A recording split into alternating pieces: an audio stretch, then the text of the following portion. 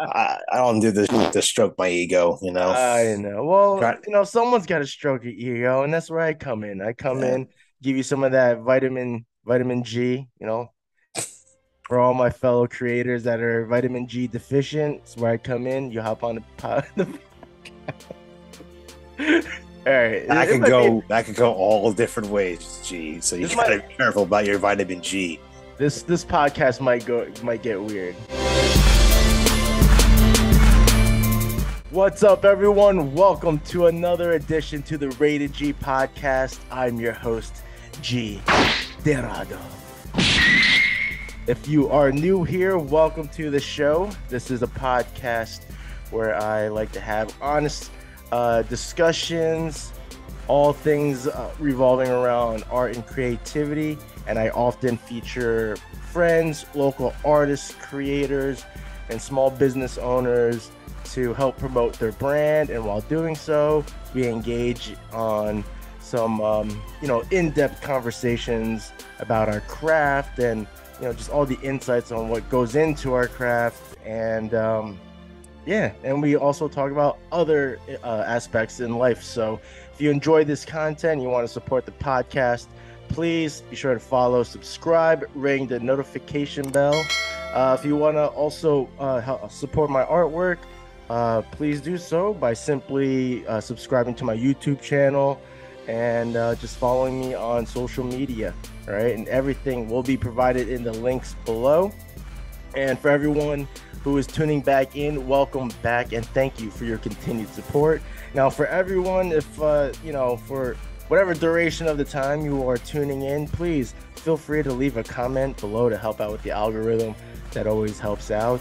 And yeah, so this is a very last minute but exciting occasion. Uh, this this man who is uh, joining me is no stranger to the podcast. So uh, please welcome back the one and only Nick Mockoviak. Slow. And, and we have, we have we have an audience member here. His name is Siler. And uh yeah.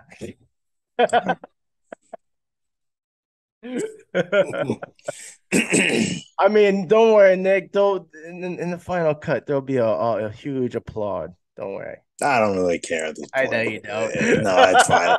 I, I don't do this shit to stroke my ego, you know. I know. Well, Try- you know, someone's got to stroke your ego, and that's where I come in. I come Yeah. in, give you some of that vitamin vitamin G, you know, for all my fellow creators that are vitamin G deficient. It's where I come in. You hop on the pod. all right. that It could might be- go that could go all different ways, G. So you gotta might- be careful about your vitamin G. this this podcast might go might get weird. I apologize in that- you know, like the the last I I don't even know the last time I was on the on the show. I think the last time you were on had to been either uh ooh was it a bitch fest or was it a solo appearance? I, think it was solo. I know it was before my daughter was born. yeah, you know, it probably was a solo one then. Yeah, you know what? Yeah, because I I think I was trying to rally us together to do one more hmm bitch fest before the end of the year. yeah, Yeah, but you know, yeah. Hey man, I'm I I I will I'm gonna say this, man. I I, I do get excited. Not, uh you know, when you when you do pop in because uh, our our at least when it comes to you and I, uh they're kind of not not sporadic, but they they are like almost like pop-ups. Yeah, pretty much. Because again, like if you can't read the shirt, it says you can't scare me. I have two daughters. two, I have two kids Yeah. under under three years old. So I mean, right. You know, like Which congrats, by the oh, way. th- thank you, thank you. It to your face. So it's it's funny because everyone's like, "How's the baby sleeping?" Like the baby sleeps well. It's the toddler who's not sleeping right now, and it's Mhm. funny too because it started like right on Christmas Eve. Actually, I remember that morning. You know, I'm watching the monitor here, and I see her like crawling out of her crib. I'm like, Uh, oh, we're switching you to a toddler bed today. That's what we're doing Christmas Eve because we have like the a converter, so it's like crib, toddler bed, and then full size bed. So it's kind of a worthy investment. and then that was the start of just like three weeks of just no sleep. Where yeah. prior to that, you'd read her a book or two, you like rock her a bit, you put her down, she might cry for like 10, 15 minutes, but then she's out. Mm. We get the toddler bed. It became a fight every night. And I mean, when I mean a fight, I mean like kicking, crying, screaming. Oh, yeah and that's just me. yeah, yeah, no, yeah, yeah. I, I mean, because like my job was after we would read books, because my wife would have would go feed you know the baby. I'm with my my oldest daughter, and it was from like seven fifteen to like nine o'clock. She would not go down. She would not sleep. She would cry. She would scream. She would run around the room. You know, and we were like trying to get her to go to sleep because we tried over the summer with another with we we got her her own toddler bed and she didn't like what well, she liked it but she didn't want to sleep in it so yeah. we are like all right you're going back in the crib you're not ready for it yet mm. so it was just like three weeks of like be, me getting the shit kicked out of from to like nine o'clock at night. Then my wife and I we would tag team so she would switch. Like she would go into Kenzie's room or, or oldest daughter and sleep on you know in the room with her usually either on the floor or we got smart and like took the toddler mattress from the other bed and put it on the floor so we could sleep and be comfortable. Yeah, not sleep in the bedroom with robin or, or the, the, baby. Then when robin would wake up to feed like around one to three o'clock in the morning we would then switch i would go back into kenzie's room she would come back into our bedrooms we were doing that for three weeks mm-hmm. and there were some you know some some of those days, actually, a lot of those days, I think our average sleep was like four or five hours. Mm. And then, you know, we went to the doctor, like, what, what the fuck? Like, this, we're not, like, we were losing our minds. Yeah. So, um, you know, then throw in like the baby not sleeping either, not napping. And it, it was just, it was leading to a lot of issues. Yeah. So they're like, the doctor was like, give her melatonin. We're like, okay and that started to work a little bit and that started to like get her a little bit more tired and then you know we're also now like doing magnesium um, gummies with her too mm. but one night it, it, it started to work where like she would then settle quicker where it would be like 15 to 20 minutes. Then it was like okay then she like nod out. But then we would get to a stretch of like maybe two nights and she would sleep through the night and then like the next three nights she would wake up at like two o'clock in the morning. Mm. and it was like i'm going back to the room to sleep in the, in the, on the floor with her. Yeah. Some nights she would sleep in our bed and but then it would take her like an hour to settle. She's like kicking and like rolling. We're like oh fuck this. I'm just no like this is not working. So yeah you know sleep on the floor and, you know that that led to, led to a lot of like you know back pain shoulder pain hip oh, pain oh, yeah you know but yeah. I'm like, I'll take that, you know, and then have her sleep versus nobody getting sleep. So, Oof, yeah, right. sacrifice, sacrifices you got to make, you know. I was just gonna being a, being a parent, you know, it's like yeah.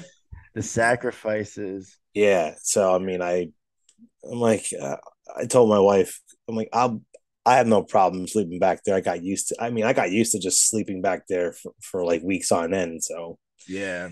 You know, and then they, they say like, you know, there's that sleep regression which she's going through right now. And then when she starts uh, ki- not kindergarten, preschool in a month, it probably be a big change going from daycare to preschool. Then they're excited and learning. And mm. I'm like, I'm just never going to sleep again in my life. so, oh, yeah. Yeah. Then on, you know, so, so then on top of that, you know, it hasn't been like a happy time because then like my father in law recently passed from cancer. Oh, yeah, to, right. about three weeks ago. So that, that, that was yeah, and it came very quickly. And it's yeah. one of those things where like you start to you start thinking about like your your you know your end mm. because uh I, I I don't I don't remember who said the quote, but it's like in this world nobody gets out alive. Mm. So then like you have to start putting together a will. Ugh. You know, it's yeah. But it's like you know what, for like for me, I don't want that mystery of like, God forbid, I go before my wife and my kids, and I don't have anything of like, okay, what does dad want? What does Nick want? You know, where does he want to be buried? Does he want to be cremated? Does he want to be planted in a tree? Does he want to become a bird? Like, what does he want to do?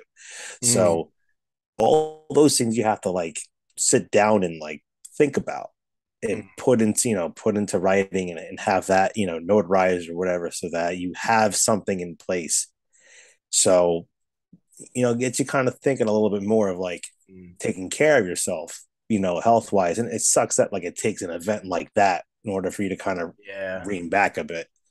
So I know like just like a small step is like, you know, doing you know, spiritless bourbon. There's no really there's it's it's not I was I'm like, is there non-alcoholic bourbon? And there is. That's, there's a whole market I, for this kind of stuff. I hear the uh, non-alcoholic beers are starting to like get better. Let and me tell you, that'd be great. But here I ha- I had non-alcoholic Guinness. I'm a big Guinness fan, and I could not tell the difference between the two. Oh, really? So yeah. it, it was still delicious. It was delicious. It was creamy. Oh, okay. it, it was frothy. You know, you have to have it cold. Yeah. You know, and and if you are discerning enough, you could probably you could you could taste a difference, but mm-hmm.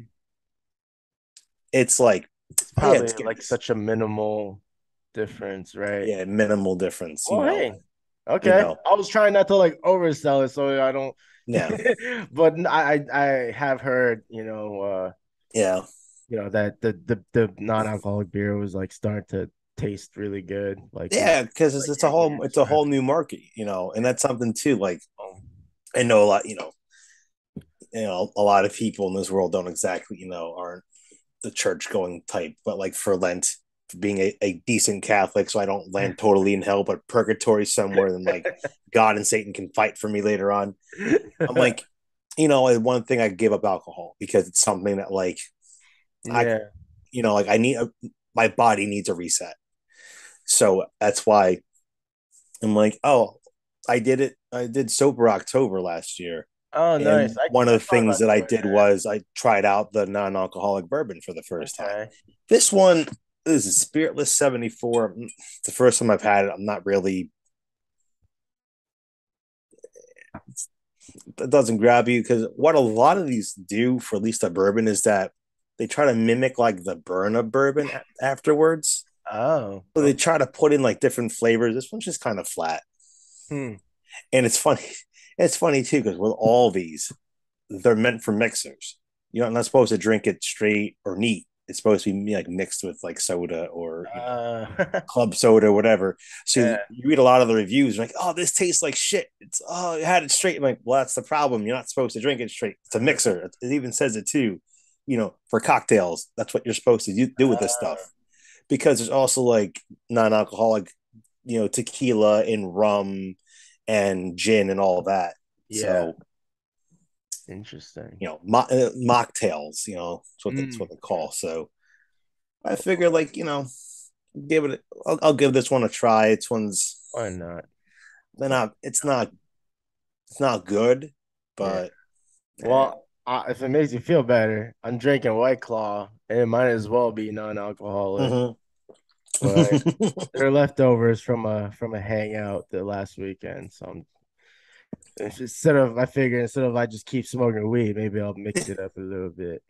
uh, no, um, yeah, man, I um, you know, yeah, a lot's going on, uh, but like, yeah, again, I you know, I'm I'm always excited when I hear from you, especially when you want to throw down on the pod.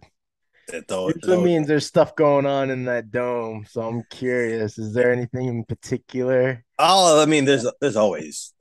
Well, this is also just a matter of time. You know, this is timing. Like, you know, you know, like my wife went to game night with with with the baby.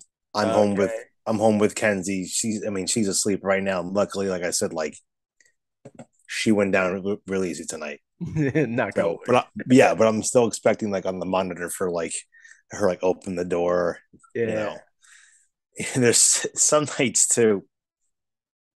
You know, I'll have the monitor next to me that has like the like the blue light on for for power or whatever. So there's a little bit of light in the room, and we close her door, but we don't shut it so that she can get out of her room. Mm. You know, because again, like she was having nightmares. Like let us know, like, oh, we can get to mommy and daddy, whatever. Mhm. It's been a couple of nights where I'm like, I'm sleeping, and it's like two or three in the morning, and you hear like, you know, Oh and you see like this little body just do Oh, like this. I'm It's already thinking of like the movies. yeah, it's like Michael Myers and, and Jason Voorhees just like staring at you, like, oh, that's just Kenzie. She comes over with her with her little um her lovey, you know, and she just walks around. She goes, "Mommy up, Daddy up, okay." And you put her in bed, and she's like, "No, no, no!" Like, all right, you're going back. You're going back to your room. We're not doing this anymore. But yeah, or or like sometimes it's like like five in the morning. You're just about you're like, all right, I'm about ready to get up now, and then she just like runs in the room. You're like, ah, I'm up now. So Oh yeah. yeah. I've uh you know it's funny because like I have trouble like falling asleep sometimes. And uh but it when it comes to waking up like that, I I don't know, like you would think I was a light sleeper, but I don't know, I can sleep through some things, but it just seems like I mean it's probably like my body clock too, and like I just I don't know, the second I'm up, I'm up. yeah, that that's me too. Like Yeah.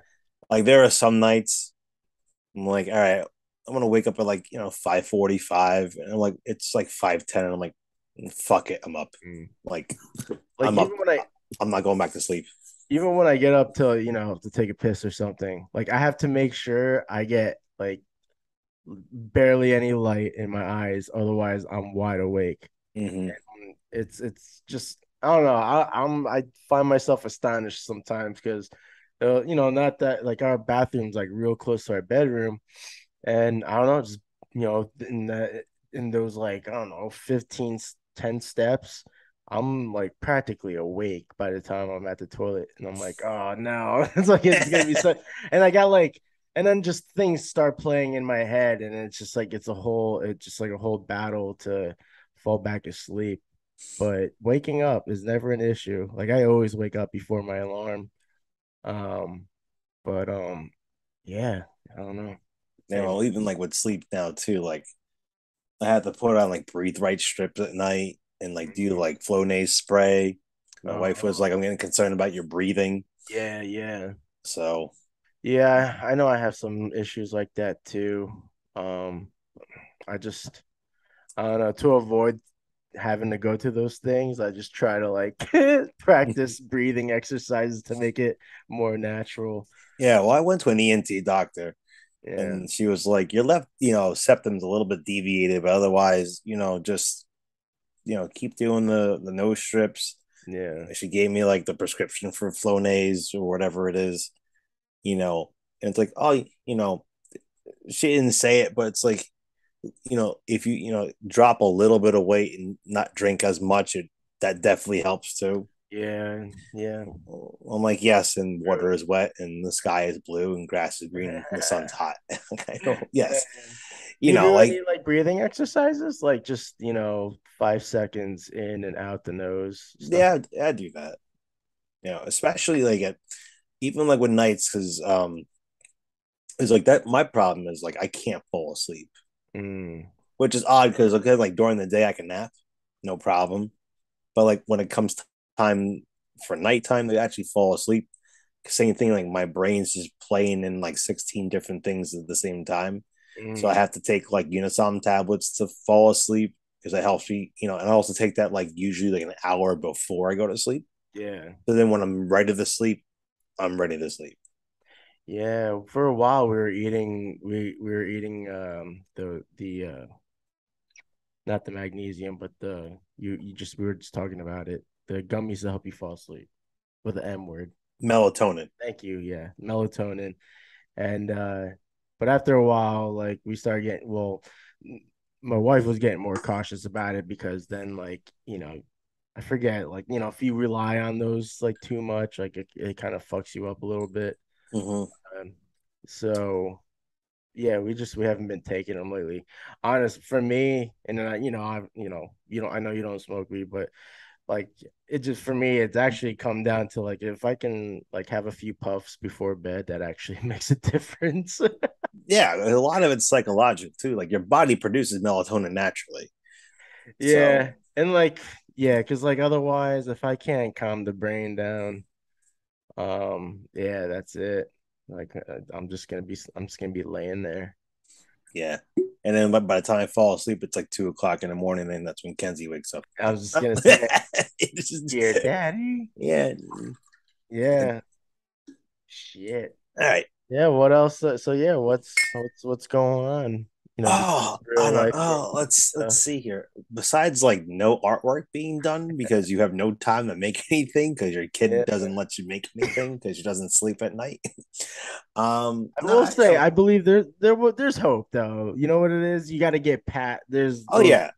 Mo- obstacles you got to get past or like even like even yeah. the age of your daughter once she starts understanding more things i'm sure you'll have a bigger and bigger window as time goes oh, on. Oh yeah, it's just you have to get past it. You know, that's what it is. You know, you have to get past it, and eventually, yes. Next thing you know, would, you're both doing it together. You're both making, you know. Yeah, she's gonna be my, my little, you know, shop steward, making sure, like, go get Daddy's eraser, Kenzie. You know, which she does anyway. I mean, she yeah. grabs all my crap anyway, and I'm like, "Where's my pencil?" And it's like in her crib, you know, or like you know, she likes grabbing all all the toys off the. Mm. She was, Daddy up. I'm like, up. Oh, you're gonna go shopping now. Like, all right, which toy are you gonna take today? You know, yeah. take the all right. Just take the five dollar Godzilla toy. Don't take the hundred and twenty. You're gonna take the hundred and twenty one. Okay, yeah, go ahead, play with it. It's fine. Uh, Breaks, so whatever.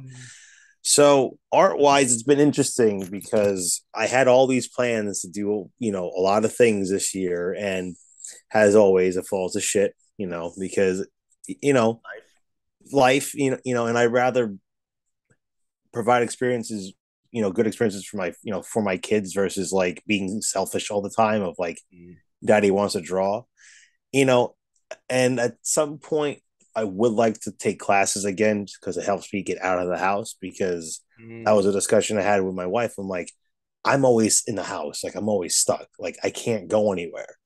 All my friends are either like they're married and have young kids, so they're always doing stuff, or like they're out of state. So I've been basically home, and I haven't really socialized and, or done anything. And it's like it, I was telling them like this is like driving me nuts mm-hmm. because like this is my socializing right here, or like at work, and there's that if you want to get into like a whole diatribe about stuff, I'll get started with like teaching and like that'll that'll be it. It'll be downhill from there. But that's been in my mind for a long time now. But I was like like breaking down and saying like I have like no real friends now. Which is mm-hmm. as you get older, it kind of it plays into that fact of like you only really have like one or two friends you actually see and talk to on a regular basis.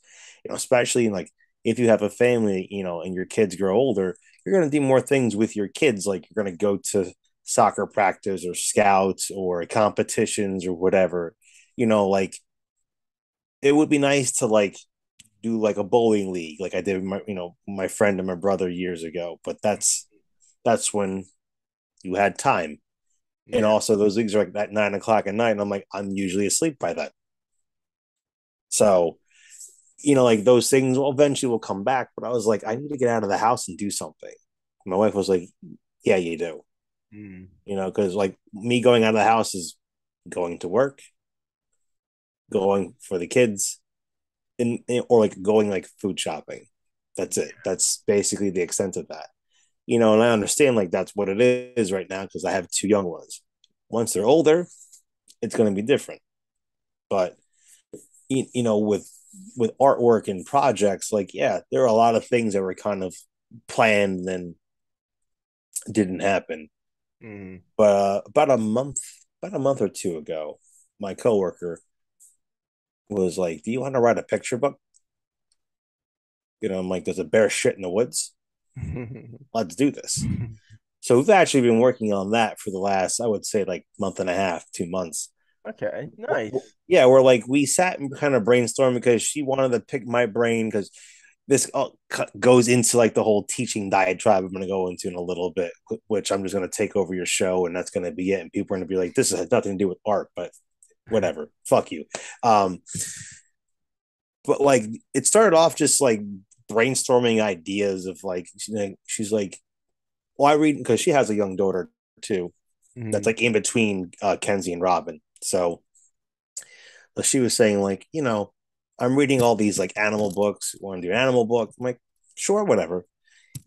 You know, like all the all these weird animals, but you can kind of tell like you're really not into it. I'm not into it. You're not into it, but you're just kind of doing it to kind of get the process going. Yeah. So and then she had like this, you know, document or uh, Google Google Docs and Google Sheets of um different ideas and concepts, and one of them was like different emotions and feelings. And I'm like, this is an idea we can go along with. So that's kind of what we're doing right now.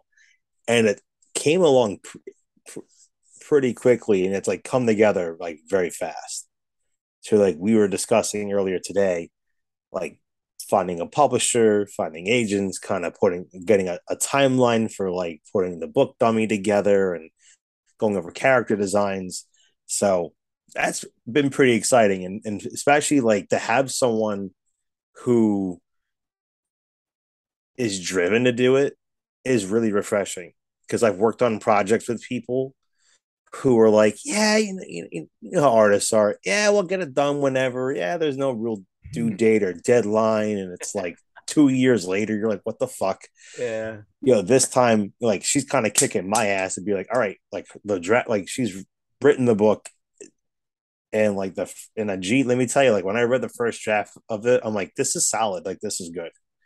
And that got me going, like, oh, let's kind of do this and let's do that. And like, let's, you know, we kind of bounce ideas back and forth off each other.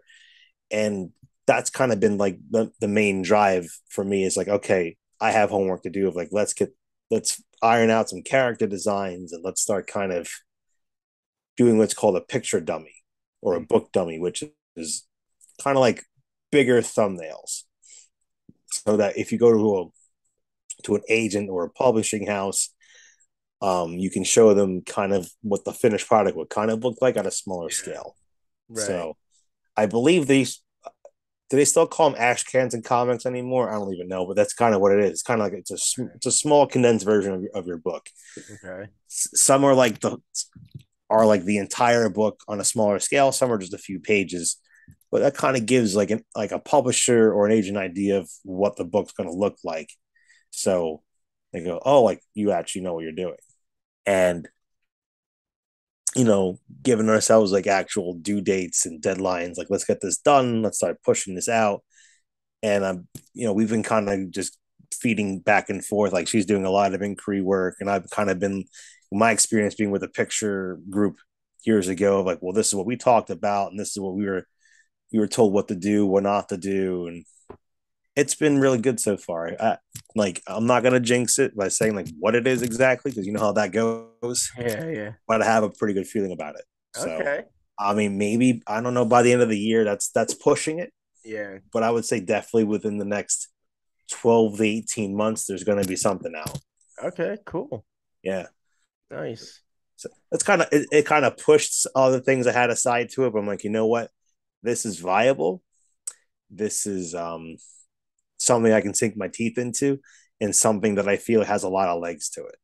Yeah, and also, I mean, you know, like one day your daughter, both your daughters, will be reading it. You know, that's like the idea. It's just it's that's that that's the idea.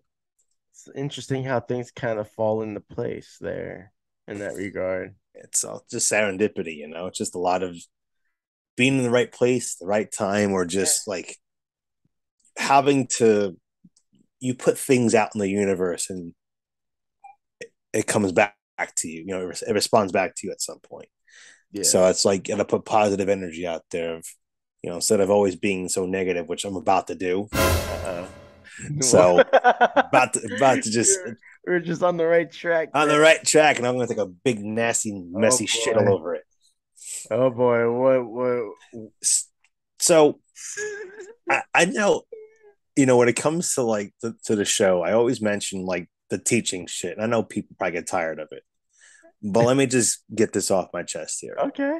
So, with with education, you you want to talk to miserable people, talk to teachers. They're they're Ooh. universally miserable, and it, there's all different reasons why.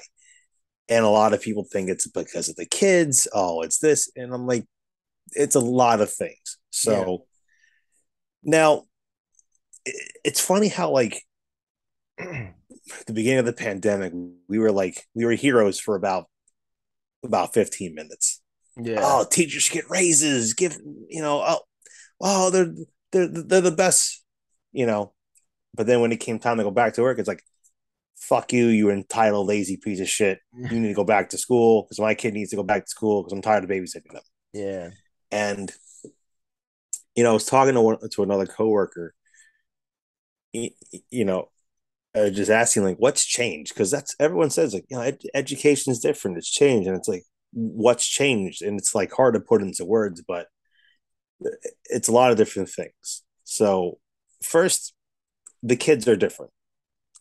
It's not a big reason why people are miserable as te- as ed- you know as teachers Mm. a lot of people outside of it think that's the main reason why it's not not a big reason Mhm. but you have you know kids now who are so influenced by social media Mm. tiktok instagram not so much facebook but you know youtube and I- what we've done with our kids is like instead of like in japan where they teach independence and self-reliance like when they go to school they take their shoes off they you know they wash the, the dishes for after their meals. They help clean the hallways. They have self-reliance and responsibility and ownership of their actions. Mm.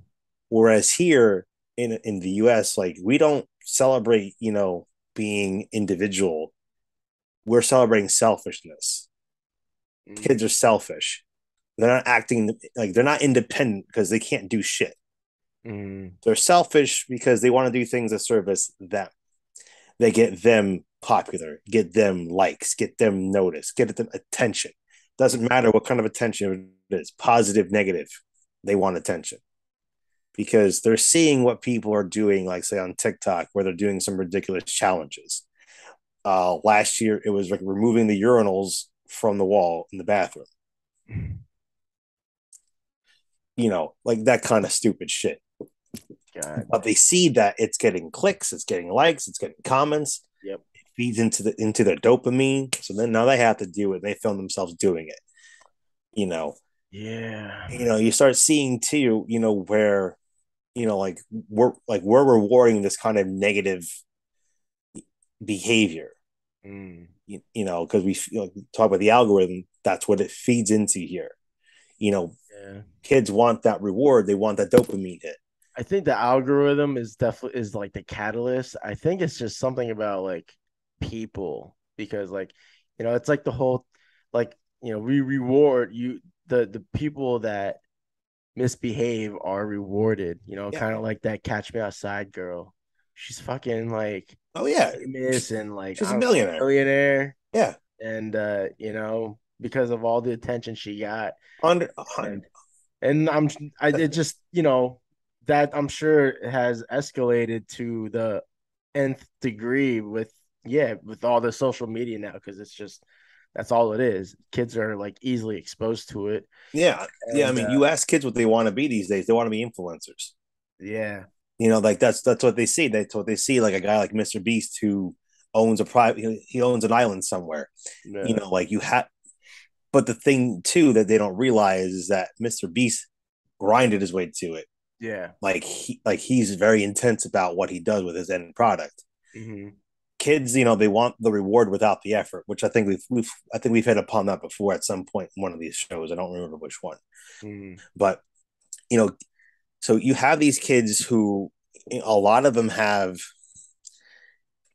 not the not the best home life situations where it's funny too because like where i work we have the two ends of town like the town that the end that i work in the kids and the family is a lot more affluent but the parents just pass them off from one thing to another Like, okay, after school, you're going to Kumon. After Kumon, you're going to dance practice. And then after dance practice, you're going to scouts. And after scouts, you're going to swim. You know, after swim, you're going to, you know, you know, on Saturday you have your math tutor. Then on, you know, Saturday afternoon, you have your reading tutor. And then you have AP tutoring, you know, on Sunday.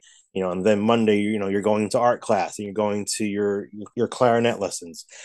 It's so regimented to them. Like the kids are being passed from adult to adult to adult to adult to adult without having a family structure. Mm.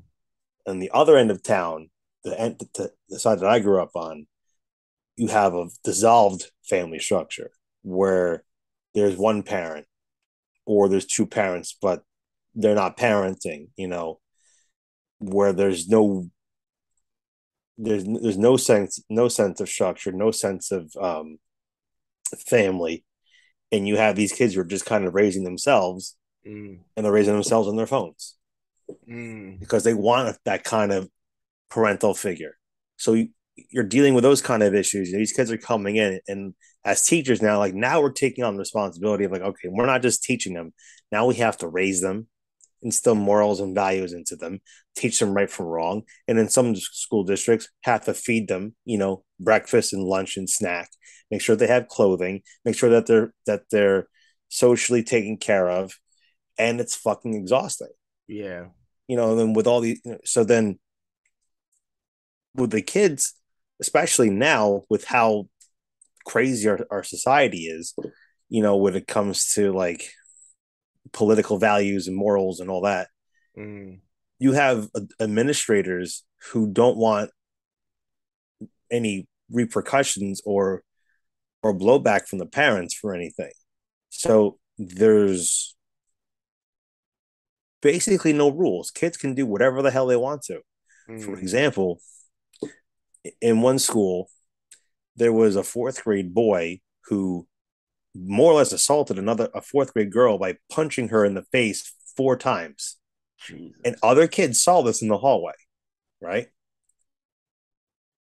And that boy was not suspended. Ooh. No detention. The fuck? Went to school the next day. So if you're if you're a kid and you see that, and you see that this that this child has no consequences for them, what does that tell you? You could do whatever the fuck you want. Yeah.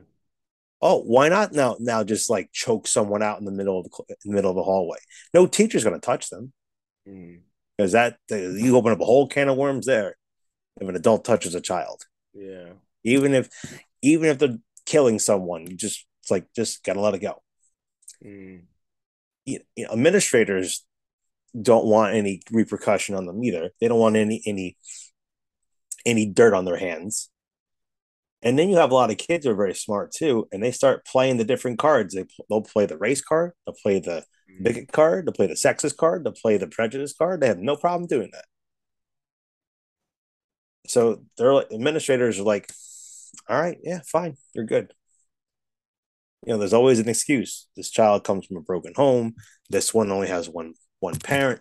This one has, you know, there's a oh, they're raised by grandma. You know, this one is emotionally neglected at home. There's always some reason, and it's like everyone's got shit that they got they got to deal with. Everybody does. Yeah.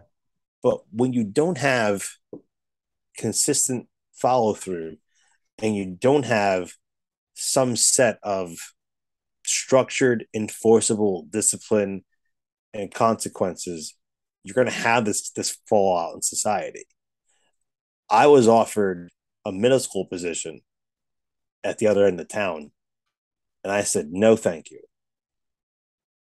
Even though I would love to go to middle school and high school, this one middle school, there's a reportedly there was there was a, a child walking around with his phone punching other kids and not getting in trouble for it.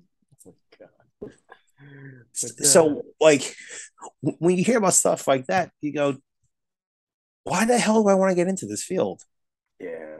Oh. You know, there's no accountability for anything. And then you're like, well, that's the kids. The biggest issue is really all is like politics. We're just political pawns now. That's all we are. Mm. You know, and you have both these political parties that use us and move us around their chessboard for their needs. You know, you have one side that tells us that we're selfish, entitled assholes that are teaching our kids CRT and blah blah blah. You have this other side that, that tells us, you know, oh, these teachers are terrible. They're, you know, they're not putting their morals on, on the kids. They're not supposed to. And then the reality is, they don't give it. They don't give a shit about you. Mm. They just kind of move you around the board for for their needs, and then, you know, once once they have their needs, a checkmate for you. You're done. Damn. You know, and then, you know, like our work becomes more and more statistics. It's more clerical work. It's more data driven, where you have to do more tests and more tests and more tests. It's like for what? the, the test you know, like you don't need to test every year these for these kids three years four years is fine not every fucking year you know and you have to keep track and make sure that these they're meeting you know they're on level or they're here and you can't hold the kids back either because that's you know emotionally damaging and demoralizing so you fail them forward kids in kids in third grade can read on a kindergarten level ah fuck it put them in fourth it's fine Mm. He needs oh that oh that kid needs help. Okay, so he so he qualifies for for reading and in, in, uh, math intervention. Oh no, but we're gonna pull those interventionists so they can sub in the classrooms because we don't have enough subs because we don't pay enough for the subs to be in the class. So now the kid is falling behind because the school district can't open, you know, can't open the wallet enough to pay for people to sub the classes when the teachers are out. And then teachers don't want to be out because they get penalized for being out, even though you have all these sick days and personal days. Oh you have to prove if you're sick or, or, or, or not sick, you know. And they question you like, if you take a personal day, what you're doing on your personal day. Well, it's fucking personal. That's why it's called a personal day. Yeah. So if you're if you're this kid, you know, 22 years old and you're going for education, you hear about all this. You're like, why do why do people do this? And especially like, in, I don't know how it is in different states, but in New Jersey, depending on when you're hired, and what year you're hired depends on when you retire. Because I was hired later in the game in New Jersey in what they call a tier five, which means I have to work 30 years plus I have to be 65 to get a full pension and benefits. Oh. Who in the fuck wants a 65 year old in their classroom? Nobody. Nobody. So then you perfectly start driving these people out of the profession, good people out of the profession, because you don't want to pay them. And you're not attracting the best talent. And then on top of that, you have administrators when they do observations, you know, and evaluations are purposely marking a lot of teachers low, to demoralizing the teachers, and then having these teachers have to argue and fight for their score to improve. And sometimes they do, and sometimes they don't. Damn. And you're like, who the fuck wants this? Like, we're adults with with advanced degrees, bachelors, masters, you know, sometimes PhDs, multiple certificates in, in different subject areas, and you're treated just like a like a like a fucking plug, you know? Like it's just it's terrible. And every time I see a, for, a former student come in and they want a student in a student teaching, I pull them aside and I'm like, Are you sure you want to do this? Mm. You know, like if it's your passion, then go for it. But I'm just telling you, here's the reality.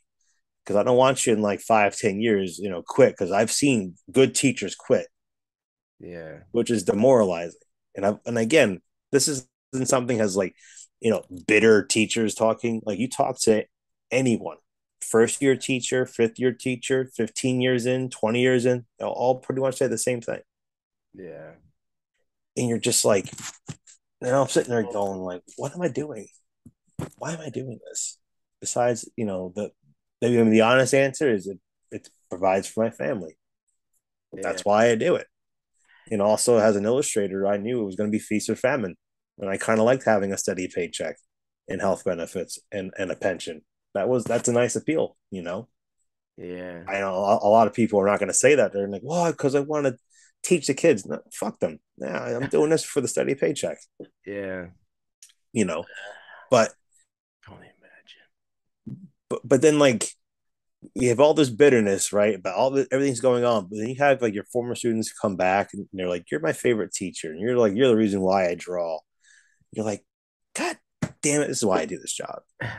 you know, like even even that, it, it, kind of even whatever's left of, of my heart, go, man, you just pulled at it enough. I'm like, man, that's why. Yeah. You know, that's why you do this, and that's and that's why that you know a lot of teachers they they they suck it up Mm. because they have that impact. You know, and again, for someone like me who sees hundreds of kids every year, it's hard to gauge your impact on, on kids. You know, because I don't see them every day. I don't teach them every day. I teach them once a week for 45 minutes. Well, then they'll come back, you know, when they're in high school and college, and you're like, this is the, re- you're the reason why I'm doing this. And I'm like, well, I'm sorry. well, you know, man, am I imagining this? I keep thinking I saw a glimpse of like a headline, something about like, you know, class. There will be at some point there will be courses on like social media use and all that stuff because everything is digital now. Yeah. Um, I would not be surprised. I mean, you gotta think too. Like when I was, in... it should have happened. it should have happened right a long time ago. If right, we, we'd known better, of course. Ed- right? Educate well, education's always behind, always behind on that. Like when AOL was around, we probably should have started like. well, you got you got to remember, you got to remember too. You know, like in the mid, in the early to mid '90s, like when I was in middle school, and I took computer class, how to learn how to type on a computer, you know, how to you know, not even downloading a file, like how to insert a, a floppy disk or a yeah. disk, you know, into yep. the computer, how to print something. Because, mm-hmm. you know, it seems like a whole foreign concept, but like 25, 30, 25 years ago, not everybody had a home computer. Nope. Like that's, uh, it's mind boggling. Yeah. To like, I remember saying like I had two computers. People were like, "Are you rich?" I'm like, just gonna say, if like, you had two, you were. You oh were my god, yeah. You know, and and you had dial up, you know, a 56k modem. Yeah. Holy shit! On both computers. yeah, you know, you were flying high. You know, but yeah, with how techno how technology is and how much has advanced, you know, over the last even just in the last five years, it's insane. Mm like can, I can't I can't imagine you know like if, if we if I time traveled back to my, my senior self 21 years ago saying okay Nick everything you ever do will be on this. Yeah. You know like your camera your navigation your email your drawing how you talk to people I, it's science fiction, you know. If I could, if I could go back in time, I would probably, I would probably go to one point where I was trying to watch porn through the squiggles, and I would show him and be like, "Dude, soon you'll be able to see that in an instant." like, yeah, and for and for free. Yeah, for free. For free. For free. And for then free. Just, like, disappear. I know. You wouldn't even like have to like go into like the bathroom with like your dad's Playboy anymore. You could just you find whatever German fetish porn you're into and watch it instantaneously. It's kind of very scary how that is. But yeah, yeah. it's just and then getting into like the whole AI thing too, but reading more into that, it's like Oh yeah. It's it's very scary. it's very scary and it's it's, it's concerning it's, for sure. It very it very much is and I could tell you like the the, the uh, concept art field is going to be decimated. There's going to be nobody in concept art. Oh yeah, I know. All I, AI. That's been my argument because um, yeah, like I, I'm trying to see like all the sides I can see about it, right? Right. All the good and all the bad. Because like I, I have one, you know, there's like one positive outlook I had about it, and that's like it, it is regarding concept art now the thing is that does take away that job title away from people. Right. It takes that opportunity away from a lot of people. So that's the the you know that's what sucks. But I you know you know everyone was so quick to be like you know they would put up that anti AI art mm-hmm. and like I totally get it. Obviously, I'm an illustrator yeah. too, but you, you know the it's it's it's a it's a tough uh, pill to swallow because this is something that like if this is a fight you want to pick, I think this is one you're not going to really win unless some major grid fucking drops or something that Kurt just fucks up the whole AI system or something, you know, something that would happen in the movies. I feel like, right? Like we're not gonna be able to really like AI is like here to stay. Yeah, you know? it's yeah, and there was um. So I make peace with it, is what I'm saying. I right, right. change anything. Yeah, I think I also won't use it. Let me point that out too. Like I my my one of my pushbacks is like I don't I don't necessarily fully subscribe people using AI art and make money off of that because that's that's where I'm like, all right, what you know, because you know how it's generated and oh you know all of like everyone's like all the billions of reference photos and whatnot, you know. So like I understand that aspect. So like like if someone can justify making money off of using AI art, like uh, you know, that's where I'm like kind of shaky on. You know? Yeah, I, I know one of the things that was discussed was you know, artists getting some kind of credit or some kind of royalty, you know, if if their work is, you know, used in AI, which that's going to be very hard to start tracking. Like, yeah, I mean, it's mm-hmm. essentially like NFTs. Like, you you almost have to like, right, right, know, process it as like, yeah, like this is my thing, and sure, like you can use it as a reference, but if there, it just gets really squirrely. right, and I think what's what scares artists now with AI, whereas like you then have, you have like the the normies who are like, well, it's no different from like, you know, Photoshop and whatever else. But it's like, well, here's the thing when it comes to technology, because, you know, I'm sure artists, if we had this in the 1870s, were freaking out over the photograph, over photography and the camera, right? Right. Photography is going to all no, there's going to be no more realism, no more photorealistic artists anymore. It's all, it's all dead now, mm. which is why you had like the impressionists, the post impressionists, the, the Fauvists, like you had all those people, you know, all of a sudden come in and start doing things that the camera couldn't do. Yeah. And obviously, you know, we're almost 200 years removed from from the camera becoming, you know, viable to obviously realism in painting hasn't gone away or in drawing or anything else. Right. And the same thing with Photoshop, same thing with the airbrush. Oh my God, it's going to take away artists' jobs. And it's and it for a while it certainly did. But I think the difference with like let's just say like the camera and the airbrush and Photoshop is that they were tools.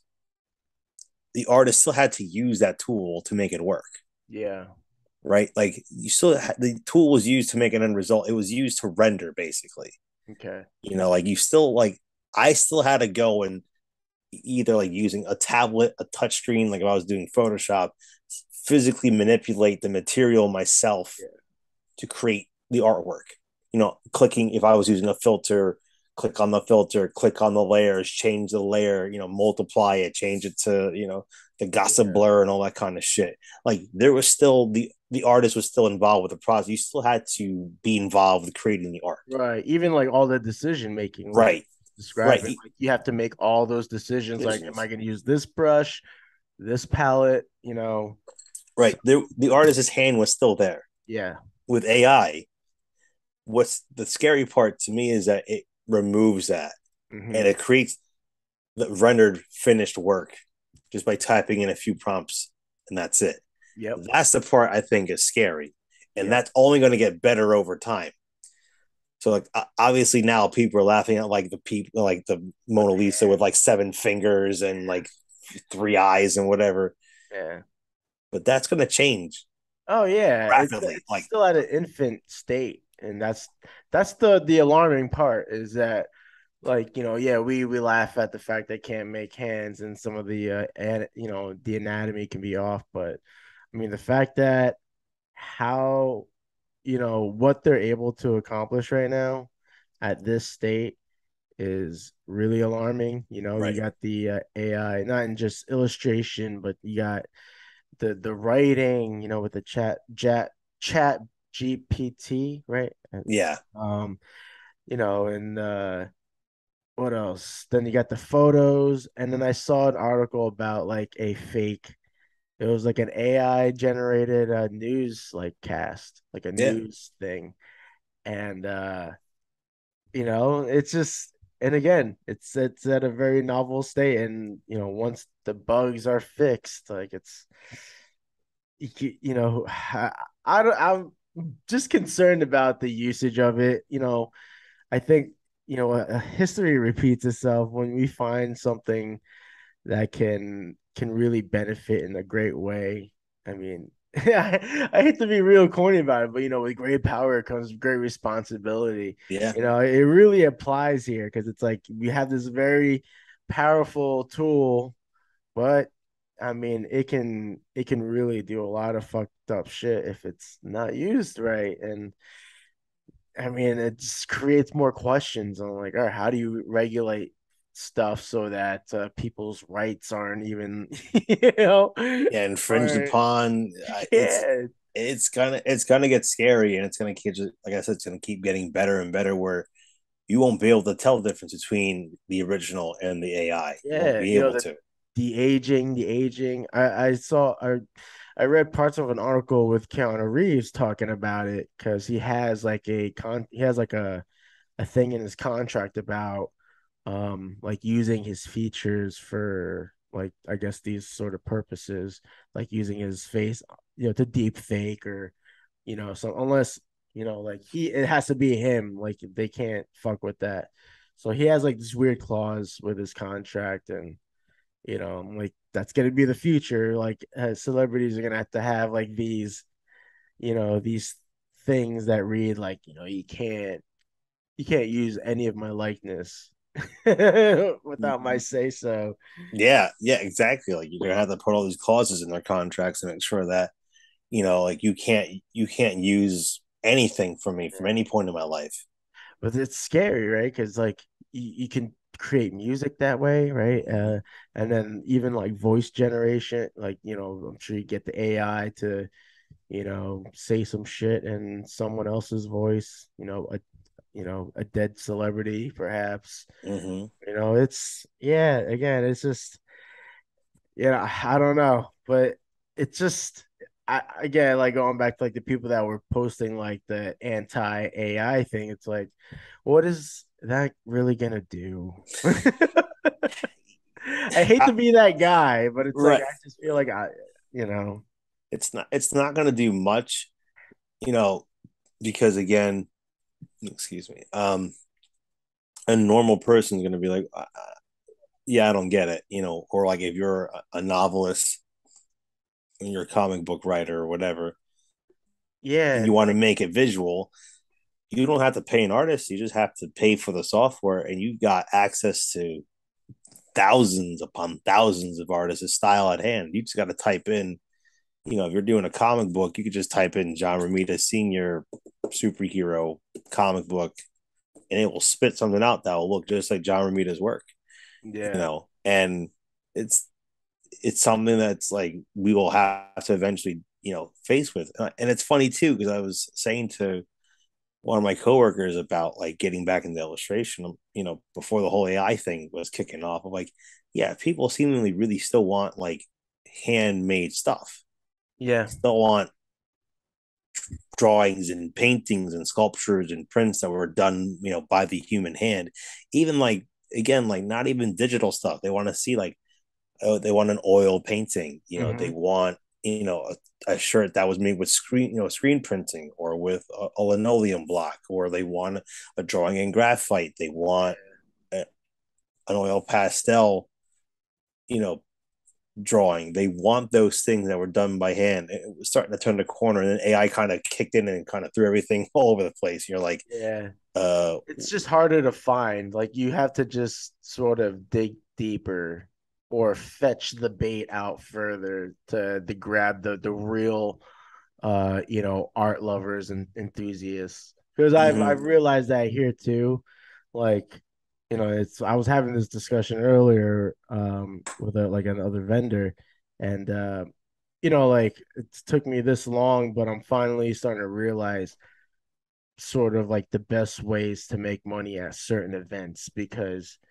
you know, it, it's over here. It's, it's saturated with pop up markets and all these small events, and you know, like I've realized, like I'm doing these markets, I'm I'm better off just selling like my stickers and prints as opposed to selling original mm-hmm. art.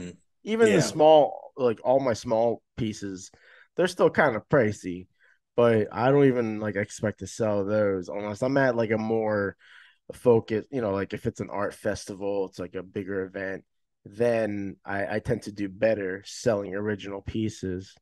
But I'm learning as I do more of these events, like, all right, this is this is what sells, like these people, these are the these are the type of shoppers that come here, you know, like it's it's tricky. it yeah, I know. That's why I've like stepped back. I, last year was the first year since 2008 I didn't do any type any type of show. Yeah, and honestly, I thought I was gonna miss it, and parts of it I do, but I'm like, no, I don't really. I don't miss like driving to the places, setting up, finding where your table is. You don't have a yeah. table. You don't have enough chairs, or you know, you don't have a tablecloth. You don't have enough singles. You know, for change and. you know, you always feel like you don't have enough product, and then you're always forgetting something. You're always forgetting something, and then you realize like you ain't selling shit anyway. So it's like, why am I worried about like not having like my little sketch cards when like nobody's buying anything, or yeah. or like you know like you have a show. Let's say that you do a show this weekend, and all they're buying is like you know five by seven prints. Yeah, like oh shit, this is doing doing good. So then you like double down and you make new five by seven prints. Uh, yeah. In addition to like the stock you're trying to replenish, you yeah. go to the next show and you don't sell anything. Yeah, been there, bunch of And then like, you know, the, then like that show, they want all original artwork. So you're like, all right, I have to bring more original artwork. Maybe you go to the next show, and it's like, yeah. all they want big size prints, and this they, these people want like comic books, and then these people want stickers, these people want bookmarks. So like, yeah. you know, having all this stock of shit, and then you get to another show, and it's and they want something else, or like, can I take a picture? Oh, can I use my phone to take a picture of your print? I'm like, no, you can pay me the five bucks that I'm charging for it. You know, you know, I've had that happen a few times. You know, like how much did you spend on your cosplay? About $500 i'm like that's why you don't have enough money to buy a $5 print you know because i know it costs 40 bucks to get in the door and you and i know how much that sandwich costs you're eating right now but you don't have five bucks to buy a fucking print. We got $15 to buy some cheap ass hamburger doesn't taste that good. Okay fine whatever. I'm actually glad i didn't do that many like i mean i didn't really do any cons but uh like i don't know like i i never got to go that deep into like the comic book scene. I've always Even, done like the flea markets. Yeah, but I mean, you know, not that I'm saying I don't. They're all they're all the same. G. They they really are the same. But I'm just, but I like, you know, I mean, yeah, like like you were saying, like when you got like cosplayers coming up and not wanting to spend the money for like any of your artwork where when they've like spent all this money on their sh- like to get the tickets to get tickets for the damn event hotel. the hotel all the other expenses that they've you know piled up to get to that event. Like i don't know i'm just saying like you know at least i guess doing the smaller events you know that if there was a cover charge it was like ten dollars. Like, like I, I feel like I, I could I can see myself being a lot more bitter if you know if I had done a lot more of the uh like comic book conventions. Like if I did more of those comic book shows yeah. Rick, because I only done a couple of them. And that was when I was like really like, you know, I really need to make some money and I knew that was a free spot. So yeah. Or, but or even, even, those I really didn't do well. You no. know, like I was lucky to make a sale. Um, right, right. There's there's but, time there's even just times too where you're like, why am I doing this? Yeah. You, you know, and even like comic shows, like the whole, I don't, I don't even know what I would sell because, like for example, I did uh Monster Mania a couple years ago. Like, oh, perfect! I got a bunch of monster stuff, bunch of Godzilla things, Universal stuff, you know, Frankenstein, Dracula, you know, I had a you know Day of the Dead thing. It was awesome. Didn't sell a fucking horror print. Yeah. You know what sold? Captain America punching it in the face. yeah, yeah. So, so you know, it- Yeah, I try to stay. I mean, I'm gonna be doing a new round of like some fan art and pop art, but I really like I I make sure it's more of a rare occasion to do like a spree of the like that type of art. yeah, I really try to avoid doing a, a lot of fan art stuff unless I'm just doing it for self-indulgence, like daily sketches or something. right. But yeah, man, because I feel like you like if you're in that cycle, it, it's hard to break out. Uh, like I made it, I was so adamant about like having my own work, like being just being known for something else. Like, you know, like even like I mean, not that I was like known for stuff, but like, you know, for a while I was the zombie guy, and it was good to like break out of that for a little bit. And then, you know, then people started just noticing me for some of the fan art that I've done. And then now to be known for the dystopian art guy or whatever, like, if I can just now work on the art that I want to create and, you know, really express myself, like, that's, yeah if you it's been that's been a rewarding like thinking about that like like why am i doing these events like Mhm. i try to think about that like i mean at least in my case being a new city just trying to get my name out there and all that but instead of using my fan art i'm trying to use like my landscapes and like the dystopian art and then now this the food art that i'm doing as well yeah, that that was an interesting pivot to food. Like, yeah what, what was the process to that? Like, I actually would like to know. uh what what what caused that Yeah, it was just Uh, like you're like I like oh like this hamburger looks good. Let me make a drawing of it. um i mean well i've always admired like uh how like in animes um the way they always showed their food in the cartoons it was so good. Like in like anytime i would see something i'm like damn i want to eat that shit. Like they just made it look so good. So i've always admired that. And then um honestly i did i was doing one of the uh inktober prompts and one of the days was crispy. So i'm like all right fried chicken naturally and then I just uh painted a picture of a two piece and a, like it's really plain and simple, but it was like it was till when I was finished, I like sat back and I was I was like, you know, not to like two more home, but I was like, this actually looks pretty good. Like I like I did it a lot. I did a lot better than I than I anticipated. Um and then uh but like you know, no one no one was like I don't know. I'm pretty sure I put it out there that it was like for sale if anyone was interested, but it didn't really draw traction. But then, then I started doing some more recently, and I decided at the first market I did this year, I put I put the fried chicken out in a frame, and it was drawing so much attraction. And I was like, "What the hell?" Because it's That's different. That's why. Like no one has fried chicken. People were like, you know, complimenting it, but the I think the only the the reason like no one bought it was just probably because of the price. Like it's you know, it's not cheap, Right. not crazy, uh, you know, pricey, but it's sold, you know.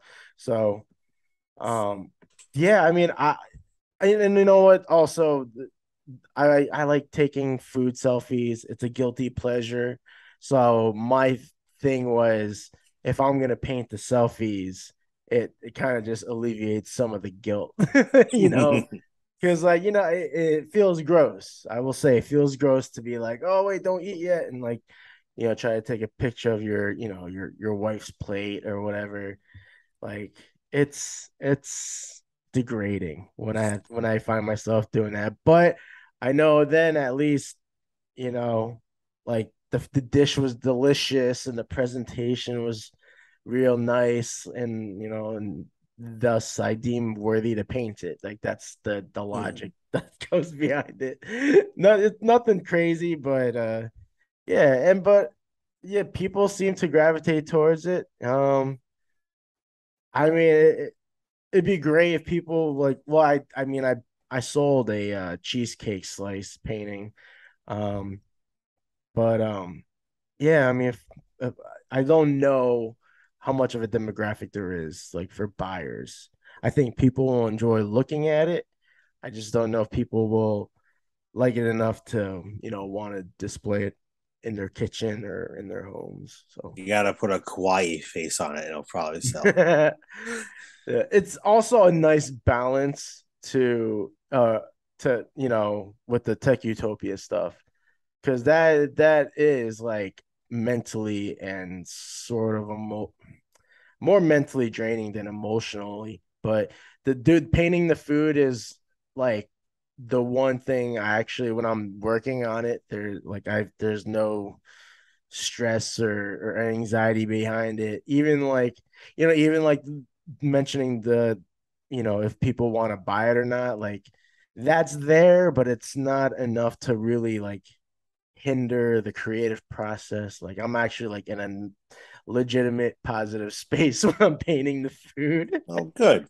probably because i'm also recollecting the memory behind it too like you know some like a lot of these meals are from like you know anniversary dinners and stuff like that so there's you know they're they're more positive feel than going to like the dystopian stuff and like, yeah. Yeah. so Yeah, drawing about our about our hopeless future. It's like, but look at this amazing pork roll and cheese I made on everything bagel. Isn't this amazing? it's like you know what they're actually looking at in their visors this fried chicken Maybe they are. yeah well, i'm i'm planning on uh renting some wall space at a uh, local gallery nearby and uh displaying the food and um yeah and then just see if you know see how that goes and if if i need to i'll probably I might just rotate some of the pieces maybe throw in um the tech utopia art but we'll see i'm kind of playing it by ear Yeah, whatever. I mean, whatever works works. You gotta just you gotta just throw shit to a wall and just see what sticks. yeah yeah and um also i'm really trying to like hone in on the you know just like in like just enjoying the stuff that i'm creating too like not to say i haven't been but i don't know something with the food i think because maybe because i'm like a foodie also like there's just something about like the food that genuinely makes me feel good and then yeah Well, that's Yeah. good, you know, because not every not every piece has to be this like heady think, you know, think Yeah. piece, you know, or that has you know that you have to like question the existence of everything. Some things I'm like, it's just a fucking hamburger, yeah or like or it it's was just, a bird, you know. Yeah, like it was just it was delicious. It had a great presentation. Simple as that. you know? Sometimes you know, like you gotta do things just for yourself too, you know. And that's what yeah, that's what I'm saying. Like I'm trying to do a little bit more of that. Um, but you know, you talked about ta- uh, going to classes. I actually went to a um, figure drawing class Oh, last last weekend, and uh, it was nice. It was refreshing. Like it, it just like it's just wild because I haven't been to a I haven't done them since college, man, and that was like 20 years ago. Yeah. And, uh, you know, just the mindset that just yeah, my whole my whole entire mindset then, you know, I wasn't I mean, the focus was like half there. I was I was such a bullshitter, but you know, part of me was like, yeah, I want I do want to get better with my skills, but you know, like just you know, com- compared comparing to then as to now, it's like whoa, like just my frame of mind is is completely different walking in, you know, right. like um yeah, it was it was it was nice. Uh there was a there was like one observation I made and it's really just stupid, but uh, I'm like, you know, because you got your artists that will have their that like to work in headphones, whether just to completely drown everything out or maybe they got their own music. They had music playing. It wasn't distracting, but there were a couple people with their own headgear. And uh it's just funny because um, you know, all that considered, we're drawing and they're the ones that are like dropping their utensils the most. They're just making all this ruckus with the paper. I'm like, yo, these artists are like are like noisy as hell, man. it was just I don't know. It was just a weird observation I had, but I did enjoy it, and um, yeah, I don't know. Like, I didn't really have any expectations going in. Like, I I I, I feel like I was more forgiving about my results at the end of each pose. Like, like if something wasn't completed, it's like, all right, well, you know, like because usually I'm, you know, be I would be such a perfectionist where I'm like, damn, I like wanted to like get it, get all the lines that I wanted in there, you know, complete the, you know, a sil like get the whole silhouette in there, something. But I was like, nah, this is cool. Like I can deal with this. Sometimes it's more about the process than it is about the finished result. Yeah. Yeah. You know, and it's another thing too. You mentioned about like skills. It's kind of odd to, you know, because like I know like you and Rick will half-heartedly joke like like a drawing of mine that's like 50% of like my ability is still higher than most people's 100%. percent mm hmm But it takes, believe me, like it takes a lot of time to get to that point. and even with like my like my skill set i know has dropped because i was doing a like a quick watercolor practice a few days ago and i'm like what the fuck am i doing it just it looked bad mm. so that's why you got to keep you know keep grinding and keep at it you know yeah. of like whatever whatever you do you know well you know whatever material you work in or just techniques and what I like about the class is like it forces you one to get out of your comfort zone, mm-hmm. you know, your actual comfort space, get into yeah. another physical space is not yours. Mm-hmm. And getting around artists that you're not that you don't know, you're not familiar with, you don't know them from Adam. They're all different, you know, skill levels and experiences. So kind of liked about those is one, I'm not teaching it, so I'm like that's great. I love that aspect. I can go in and I am like one of those headphone people. You know, sometimes I drop shit, but most of the time it's just, you know, I, I, do it. Like, I mean, it happens, but it, it was just it, so funny, like being in that moment. Right. You're like, wow, like. yeah, I think for me, just it helps me to like to drown everything out, and I can focus on what I'm doing. Yeah. that's why I think sometimes you drop things or whatever oh, because oh, I like, totally understand that. But I think it what to, it, it add on it adds on to what you're saying. Like just being in that environment. Like I needed to get out. That's why I signed up. I was like, I need yeah. to be in a, in another place, be surrounded by people I don't know, just like be like a regular person again, really, and right. fucking, you know, just be out there. So you know, I mean, you know, it's an odd observation. I thought it was funny uh, ultimately, yeah. but you know, it's just like oh, like because I'm so used to ha- being in my own controlled environment. Like if something falls, I know why right? As opposed to like you know, it's like it's like natural. It's like, yeah, it's like why you keep dropping your eraser, you know? While I'm but, dropping shit too. Yeah, it's like, yeah, yeah. You know, it's it's nice to just like to keep your skill set up because I feel like for me, it's kind of like it slid backwards because I haven't really been doing any type of even like bullshit sketching, you know, because usually. By, especially by like this time now, I'm like I'm usually zonked out. I'm usually asleep which is like I'm looking at the clock. I'm like, oh man, I got like a few more minutes and I'm done. you know, but you know, but with like the um, you know, like getting in classes and, and that and just pushing yourself, I feel like for me, I need to be around people who have like higher skill sets and more experience because I, I feel like I need that push, you know, because when you're not saying I'm like on the best, but when you're constantly like on the higher end around other people, you're like, oh, okay, I don't, I'm helping them out more than I'm concentrating on my own thing. Yeah, but, yeah, I feel you. You know, just kind of like I just want to learn other things from people because again, you're so closed down to like doing what you're what you're doing, you know, without getting feedback from someone else who has a fresh set of eyes, maybe who doesn't know you, and can yeah. give you some experience, you know, some um, some observations, some notes about your work that make th- that can improve it, and just even like kind of trailing, you know, circling back to like comparing your older work. I was looking through I think one of probably I think Instagram or DeviantArt, one of the sites. And I remember seeing this this drawing that I did with like cross hatching, and I read a comment that I wrote of it, like, "Oh, this looks pretty good." And I look at it now, I'm like, "Oh my god, that's what I thought good was." Oh boy. so it's very cringy. You're like, "Oh my god, like this actually, like this doesn't look fucking. This looks like dog shit. What the fuck?" But it's just be- because I was a lot newer at it. I didn't know what I was doing. So yeah, to me, it looked good. You know, yeah. now I look at it and go, "What?" you know, like so, so like I think for us too, we don't often see a lot of our progress, which is why a lot of people drop out of any like painting class or drawing class because they don't see that progress because they want to see it right away, the instant gratification.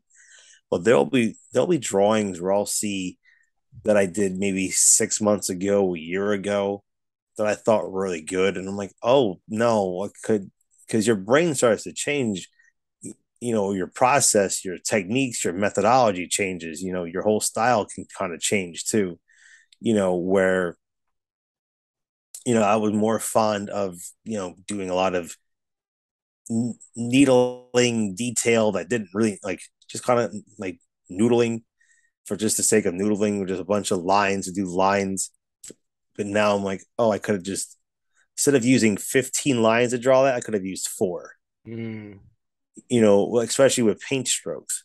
Mm. Where, where I was taking classes, the, the one teacher was like, you could have done this in like two paint strokes and you did like seven. Kind of see the back and forth. I'm like, oh, I, I get it. And sometimes you don't get it at that time. Yeah. Because you're stuck in your own ways.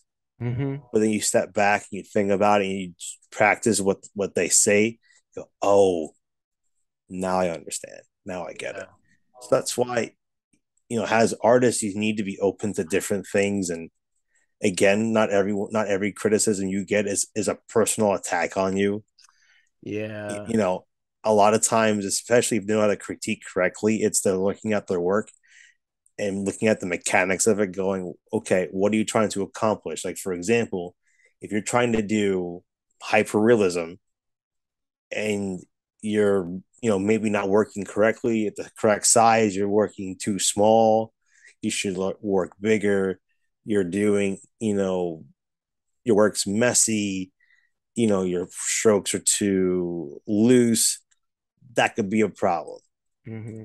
You know, or like that's a, like valid criticism but sometimes you just have to go okay i like this what are you trying to do here this seems weaker you know let's try to marry the two together and the other thing too i was thinking about with like with work is what are you doing with it you know like i was looking through a slideshow of some of the high school students' artwork and a lot of it's very nice, very good realism, very nice. But it's like, okay, what are you doing with it though? Mm. Like, what are you doing with that kind of realism? Anyone can learn to draw a paint realistically. It's a skill that you can learn. Just how you hold a brush, how you hold a pencil, how you move it back and forth on a surface. It takes time and practice. But what are you doing with it? You know, like it's great that you can draw realistically, but who gives a shit? You're not a photocopy machine. You're not, you're not Xerox. Mm. Like anyone in time can do that.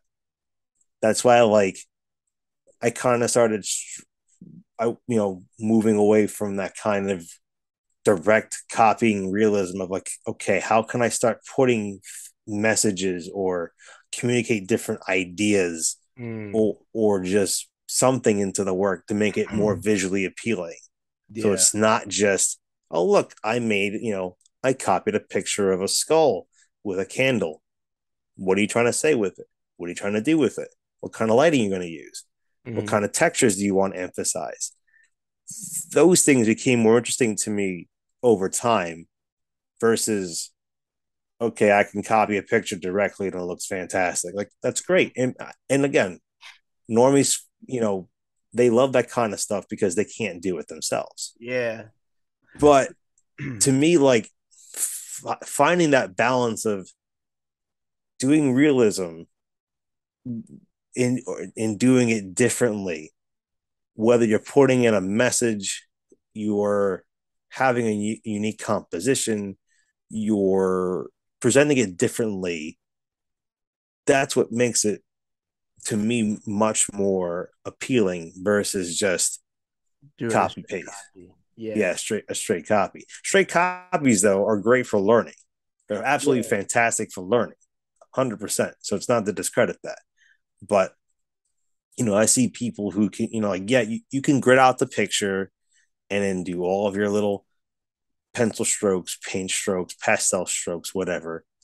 All right that's great and wonderful but it's also boring. What do you what do you what makes it different? Like See, that's the there are one many thing I, I don't do. And I mean, it's probably, I mean, it's, I think it's obvious, but I, I don't grid my stuff, which is, i don't know. it allows me to be okay with like things not being exact.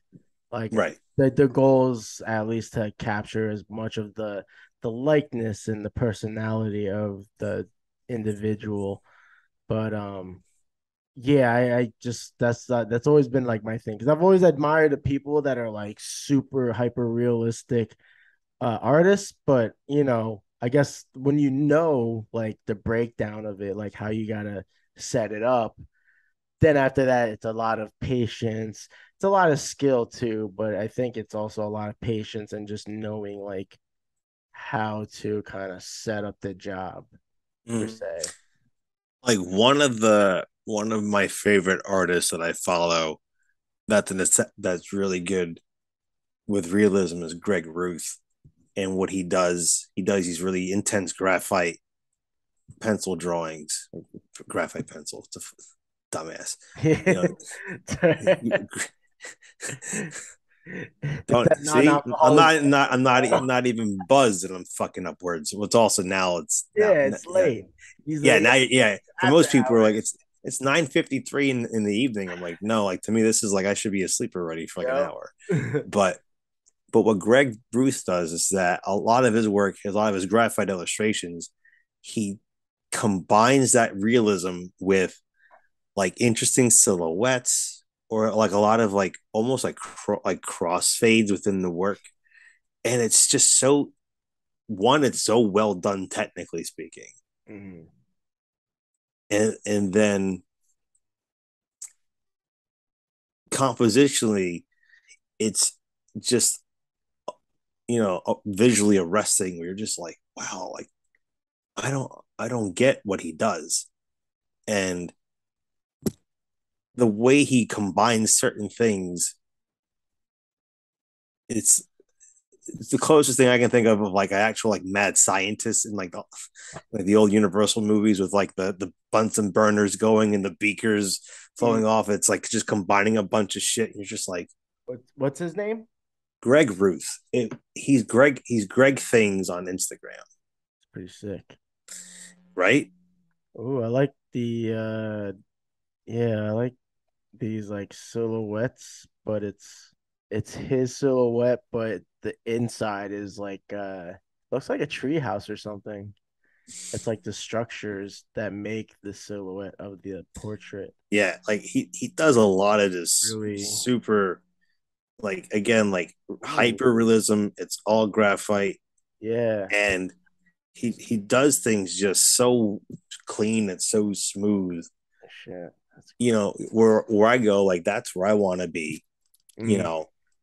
And just seeing just like how again on a technical level like you can't match like you can't match that but then just how he uses those.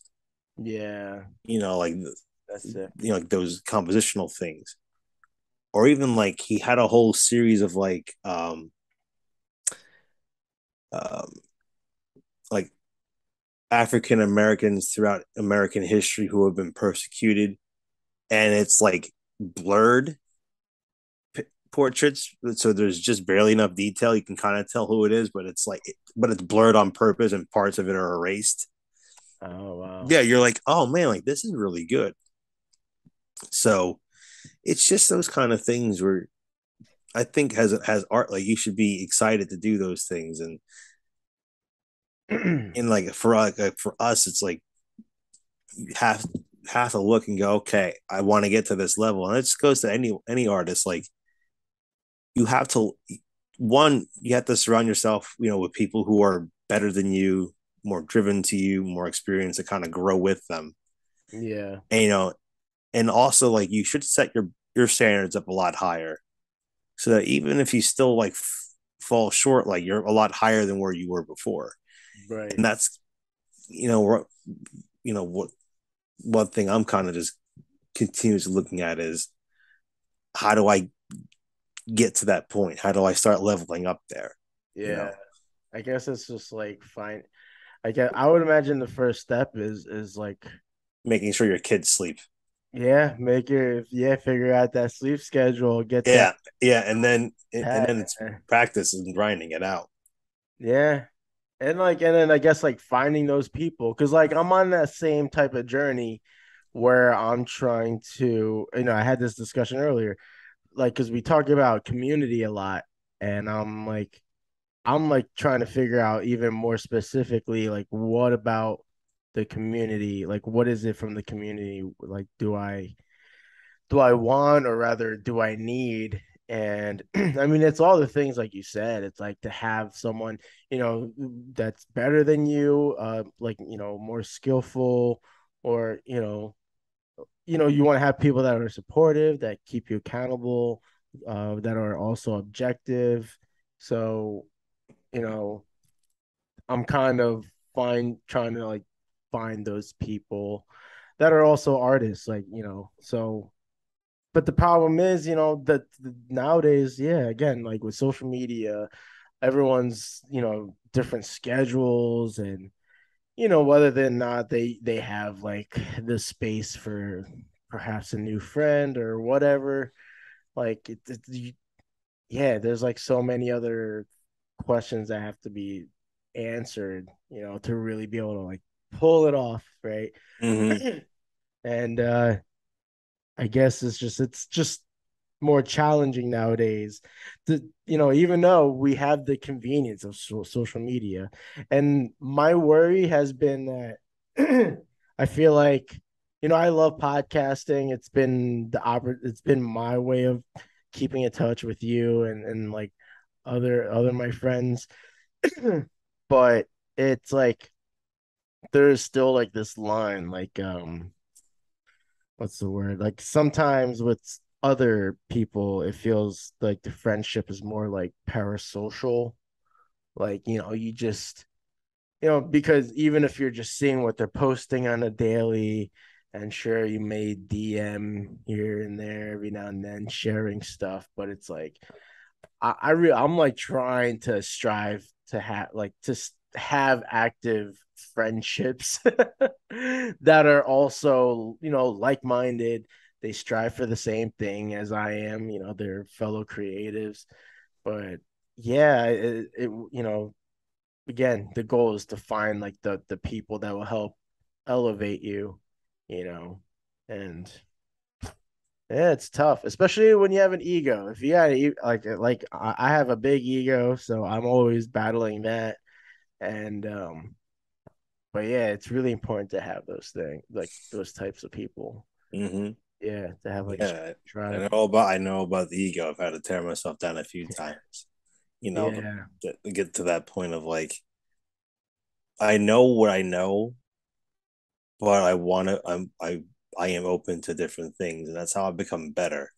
Yeah. You know, trying different things too that you never thought you would do too. Like like I said, numerous times in this excuse me, on this show where I never thought I'd be doing birds or botanical art or any mm. other crap. I had no idea.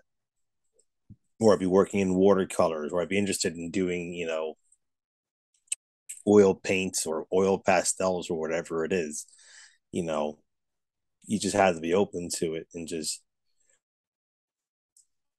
just you know always strive to do the best you can and you know failing is part of the process it's part of the journey it's part of learning you know failing is perfectly fine as long as you understand why you're failing at it and how to troubleshoot and improve it so yeah. I, I mean like i said there's all these different things that go into like into this whole field you know, and it's always is wanting to be better, eh, you know, and, and improving and just being different to stand out.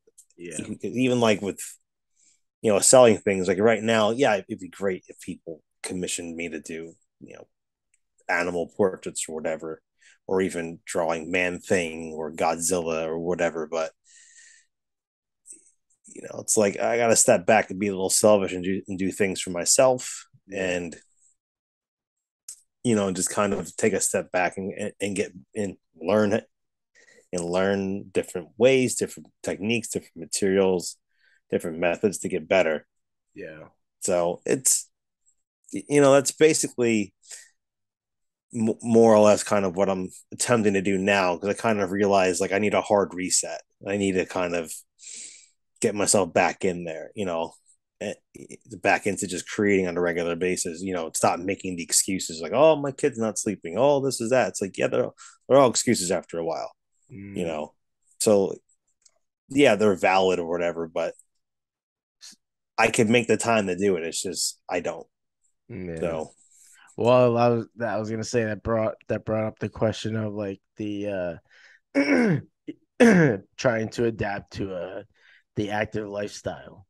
Like obviously I'm sure that that's been difficult, but uh is that also still part of the goal too is to just to I mean like, you know, obviously you don't have to do anything crazy, but like just to get yourself at to an active level. Oh yeah, yeah, yeah. I'm like looking to with the uh, the Garden State Watercolor Society sent out a thing about two shows and exhibits and I look through them like I could probably like I should do this. I, I it gives me again something else to work on as well. So I'm not just sitting here staring at the same blank paper. Oh like, no, but I'm talking about like exercise because the last time you're on oh, here, oh, like running and stuff. Yeah, yeah, like oh, just okay. having like a more active lifestyle. Oh, yeah, I mean, luckily, you know, you know when you hear when you hear the two words "daddy tickles," you you, you know you got to go in and move around of course. And, run, you know, like, or just doing things like walking my dog every day, running. I'll probably get back into eventually when everyone kind of settles into a, a, a routine of sleeping and I can sneak mm-hmm. a run there. And, right. you know, I've, I've made the effort to move around as much as I can, even at work where I just kind of walk around the classroom or walk around the building a few times or park further away so I can, you know, get those steps in and all that, but just that keeping active, keeping you know physically active. Right. That's also kind of been that was on the waist. You know, it was kind of going to the wayside of like, oh, I'm not gonna, I don't have to run today. It's windy or it's, uh, it's yeah. raining, it's snow or whatever. But it's like, no, I should, I have to do this, you know, because again, I've realized too, like I have to be physically active as well to help yeah. to keep, you know, yeah, keep just, mind going. Yeah, exactly, and like that's the thing too. Like, I, I always try to clarify like it never it's like you know the intention isn't to like go hard or whatever, but it's just to again to to real you know yeah clear your head. You know it's great. You know therapy. It's uh and um you know it releases those uh those positive chemicals. You know like those feel good chemicals. So any way to get that and and you know however intensity you know you decide to do it but um yeah i mean any form of it's great. And like even small increments right? Even like just doing what you're doing right now that's like that's a plus. It it, it, it could like help rewire your brain a little bit and kind of like you'll start getting comfortable being uncomfortable you know like like yeah. I don't want to do this but i i i know the reward of it at the right. end, what, what, what what do they call it? Swallow the frog is that what it is? That whatever that phrase is, I think. Oh, I don't swell, know. it, basically, you're just like, all right, you don't want to do it, but fuck it, I want to do it because I'm gonna feel bad if I don't, kind of thing. Oh, okay. So I think it's called. I think it's called swallow the frog. That's what they call it. It's like you just you do things early in the morning. You you do things early to get it done out the way, and you realize like you feel better for doing it versus like not doing it. So, right. yeah, yeah. So, well, at, at, this, at, this point, the brain's like shutting down. I'm like, all right, I know. I, am repeating myself, and I know I do that a lot. But this is the point well, where I'm like, all right, now I'm just. We, we, we still man through it. it. It's all good.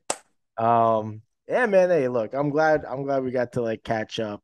Absolutely. It's always a good hang, and uh yeah, obviously, when when the schedule starts to balance itself out, hopefully, um, you know, we can uh, round up, you know, get get the old boys together, see how because I I haven't really been in touch with Rickman as much. I know he was trying to get his living situation settled, so you know, hopefully things are good on his end, and that hopefully we can all get together again. You That'd be good. One of these bitch bitch fests. hmm All right, brother. Well, get some sleep. You I surely will. deserve it. Hardworking man, father, husband. So, yeah, man. I'm glad we got to catch up, though. Yeah, I am too. All right. Well, any any last words for the audience before I bring this thing home? No, I don't have any encouraging, you know, di- No, you know, The soliloquies. last one was real no, good. I don't have anything. Artists who's listening to this show, just keep practicing your craft, but also don't be afraid to diversify. Learn different crafts, grow your visual vocabulary, learn your skills. Look to your past, look to the inspiration, look to your favorite artists, but look who inspired them because you will learn a lot about why your favorite artists made the, the work they did and that might inspire you to do something different. There's nothing wrong with making a buck and doing popular work and fan art. There's nothing wrong with that. I've made a career out of it. Don't be afraid to explore on your own and just keep pushing yourself. Just because you're not ready for something now doesn't mean you're not going to be ready for it six months or a year from now. And understand that you are going to fail at things, you're going to fall behind on it. That's part of the journey. Keep pushing. We need artists, we need people who do great things, weird things, comforting things. Please join us. There's plenty for everyone to share. I'm, I'm sorry, everyone. I, I gave that up. I gave that out last time. I'm all, I shot my load. I'm done. He, yeah. I mean, that one was was folded, so it's okay. Yeah. You get a pass. Oh, thank you. Um, all I'm gonna say, uh, besides you know, besides thanking everyone who has been tuning in, uh, don't forget to hit that follow and subscribe button if you enjoyed the podcast. And again, if you want to support your boys' artwork, uh, subscribe to my YouTube channel and or follow me on social media at Art of G Terado. All that will be in the show description. You can also follow Nick on Instagram and Facebook. Uh, Nick Instagram is what? Just Nick Mockoviak art. uh, it's the art of Nick Mockoviak. Uh, my apologies. yeah, and what's don't worry the what's the Facebook one then? Oh no, no, no. Instagram is Nick Mockoviak, and then Facebook is the art of Nick Mockoviak. There you go. I will of course make sure links are in the description below. But yeah, please support support us uh local artists you know you you hear our struggles and and you know we we talk about the grind all the time so you guys uh will be more inclined to buy original art Indeed, yes. and with that said uh stay safe stay healthy stay driven and hopefully we will catch you all on the next one. Peace out